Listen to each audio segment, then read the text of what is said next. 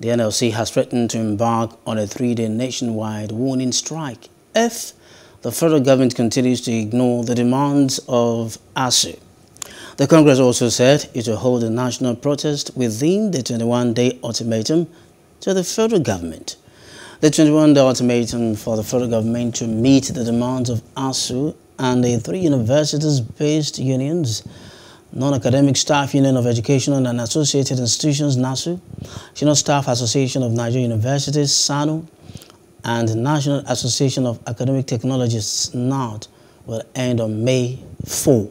Please do subscribe to our YouTube channel and don't forget to hit the notification button so you get notified about fresh news updates.